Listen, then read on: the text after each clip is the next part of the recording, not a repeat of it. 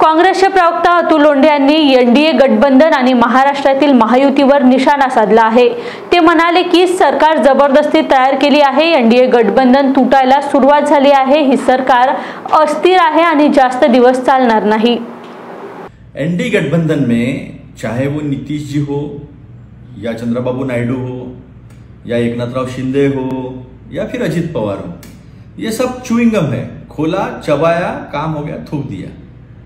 इसी प्रकार महाराष्ट्र में जिस तरह की तगड़ी और करारी हार कांग्रेस ने और महाविकास आघाड़ी ने दी है मोदी जी को, उसका ठिकरा फोड़ने के लिए कोई ना कोई तो चाहिए था। तो आरएसएस के मार्फत ऑर्गेनाइजर ने लिखकर यह बता दिया कि अजित पवार जी की वजह से उनका चुनाव में नुकसान हुआ, उनको करी, करारी हार को आगे जाना पड़ा।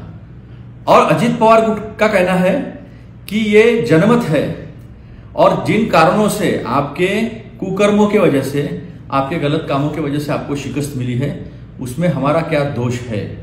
बोलने के लिए हम भी बहुत कुछ बोल सकते हैं।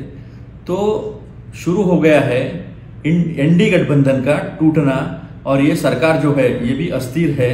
ये सरकार ज़बरदस्ती की तीसरी टर्म के लिए बनाई गई है, और लोगों पे थोपी गई है, जबकि इसको कोई भी जनादेश नहीं है। ये सरकार ज़्यादा दिन टिकने वाली नहीं है।